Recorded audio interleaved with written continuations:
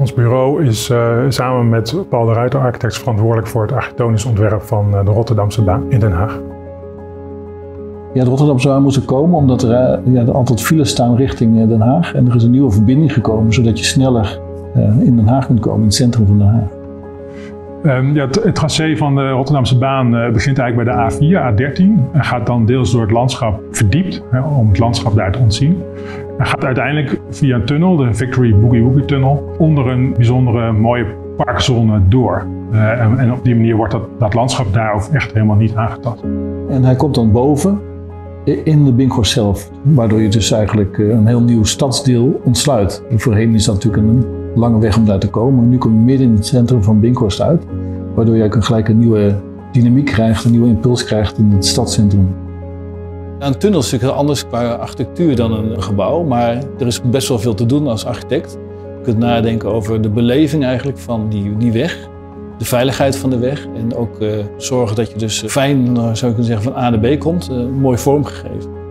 De uitdaging van ons bureau en onze bijdrage in de Rotterdamse baan is eigenlijk om te kijken hoe duurzaam mogelijk de Rotterdamse baan zou kunnen uitvoeren. Dat betekent dat je met zo min mogelijk materiaal, met zo min mogelijk energie een ontwerp maakt en probeert zoveel mogelijk het landschap te respecteren en de omwonenden te ontlasten van de weg die daar gaat komen.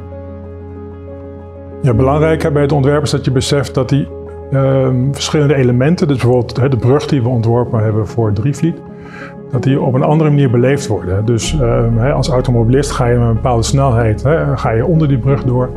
Terwijl je als, als voetganger sta je op die brug uh, en ga je met een veel lagere snelheid eroverheen. En beleef je dus ook zo'n brug anders.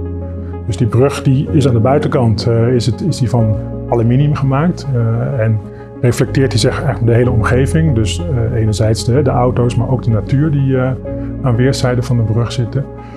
Terwijl je op die brug zelf is die van hout gemaakt, duurzaam hout. En dat is een heel vriendelijke uitstraling heeft dat. En tegelijkertijd hebben we dan die balustrades, dus zeg maar de relingen, hebben we bij de Rotterdamse baan zelf weer wat hoger gemaakt. Zodat je je als voetganger echt beschermd voelt. Deze tunnel is anders dan andere tunnels, dat we echt heel erg vanuit de gebruiker hebben gedacht. Dus de weggebruiker en de mensen die in de omgeving wonen. Dus voor de weggebruiker is het een hele veilige weg. Met heel goed verlicht en zorgen dat er niet grote contrasten zijn tussen licht en donker. En voor de omwonenden is het een zo min mogelijk belastende weg. Dus uh, met zo min mogelijk geluid, zo min mogelijk fijnstof. Zoveel mogelijk respect voor de omgeving en, en de natuur. het leuke aan dit project is de, de, de samenwerking, de intensieve samenwerking. Zo'n project duurt heel lang en het is inspirerend om van elkaars ideeën te leren eigenlijk. En geïnspireerd te raken door elkaars ideeën, zodat je een beter ontwerp krijgt dan als je dat alleen zou doen. Dus dat is eigenlijk heel interessant.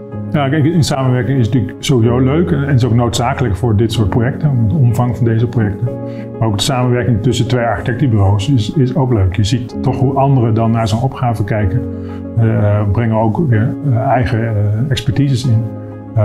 en, dan, en dan krijg je ook echt wel een meerwaarde, zijn wij van overtuigd. Ja.